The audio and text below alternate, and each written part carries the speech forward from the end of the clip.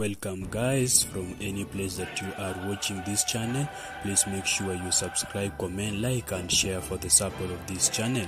Today as we are going to look for the biggest match of this week which is manchester united against atletico madrid aggregate standing 1-1 i will give you analyzing for the last five matches of each and every team and also give you the probability of which team will win drawing or losing.